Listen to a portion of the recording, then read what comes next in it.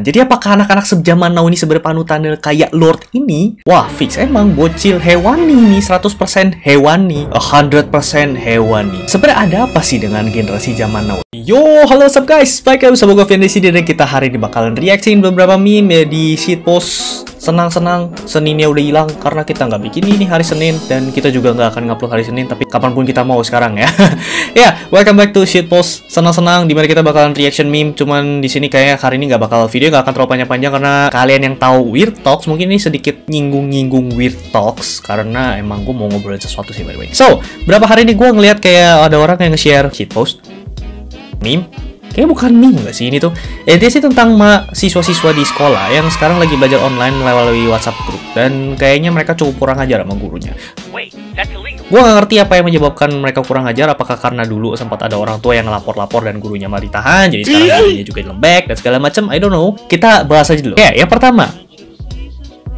Miris. Ini ada seseorang yang nge-screenshot, gue gak tahu apakah ini bener-bener dia sendiri karena itu kelihatannya cukup mencurigakan dan kalian tahu kosan kadang-kadang WhatsApp kayak gini itu dongeng. Tapi ya sudahlah kita bahas aja oke? Okay? nggak beliin kuota jangan sok nge-spam tugas. Ya oke okay lah kalau seandainya emang gurunya nggak spam tugas ya harusnya tetap kalian nggak nggak sepantasnya juga ngomong kayak gitu ke guru ya nggak sih? Aneh sih apa yang salah dengan kalian sih? Kenapa gitu kalian harus melakukan seperti ini gitu? Kayaknya teman-temannya juga ngebelain dia gitu kan dengan ngomong suci, gak ada akhlak, gila uci, pakai pakai emoji kayak gini, terus fist bump. Gue gak ngerti apa apa yang salah dengan anak-anak sekarang gitu kan?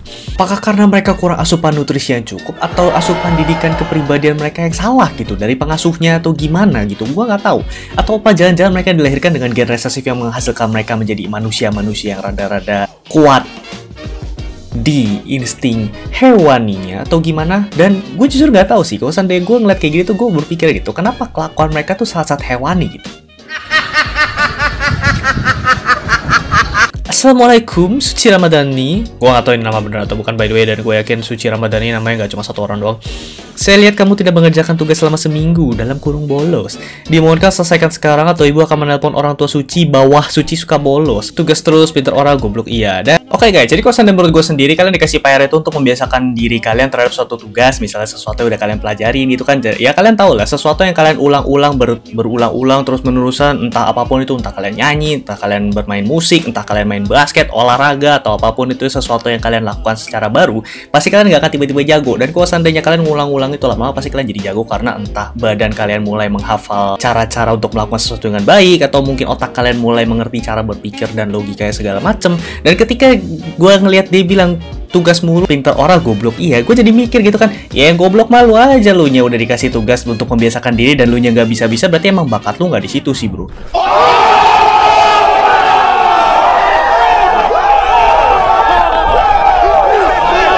sorry sorry tuh saya berarti emang bakat lu nggak di situ.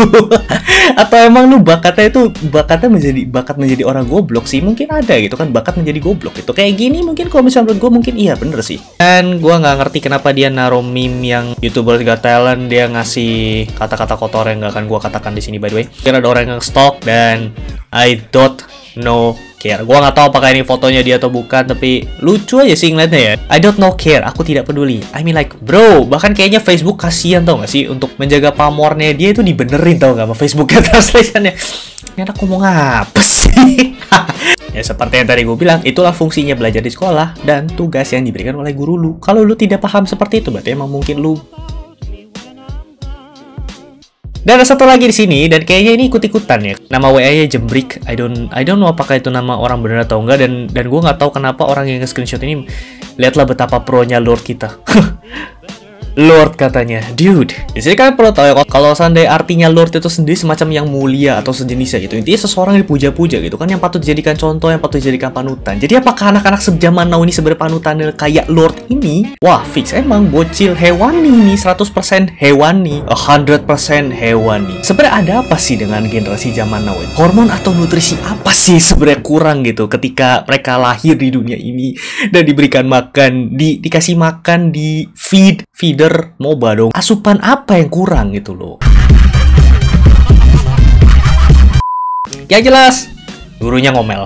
Ya iyalah jelas. Maksud gambar kamu apa ya, Jembrik? Kalau kamu tidak mau mengikuti pelajaran sekolah, silahkan berhenti menjadi seorang pelajar. Gue setuju sama ini guru. Tugas yang diberikan oleh bapak ibu guru di sekolah itu merupakan sarana belajar untuk seorang pelajar. Silahkan kamu berhenti menjadi pelajar kalau kamu keberatan untuk mengerjakan tugas yang diberikan oleh bapak ibu guru.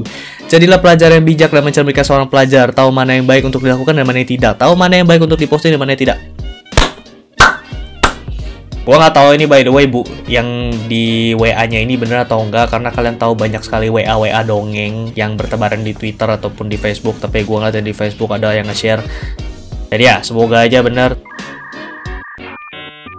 Eh enggak sih, jangan semoga benar karena ini tidak baik ya. Jadi jangan dilakukan. Tapi ya guys, memang seperti itulah internet internet dan beginilah shit posting dan gue harap kalian suka sama pembawaan cerita gue ataupun kalian mendengarkan dari awal sampai akhir So, kalau kalian suka sama video ini jangan lupa untuk like, share, dan subscribe. Kalau kalian juga punya meme untuk dis untuk disubmit ke gue, kalian bisa kirim ke Instagram gue @laudavian. Jangan lupa juga untuk follow Instagram gue dan kalian bisa message gue di situ. Gue juga bakalan balikin ke kalian kalau seandainya menurut gue tuh gue cukup sukain dan segala macam. And yeah, I'll see you in the next video. Thanks for watching. Happy gaming see ya.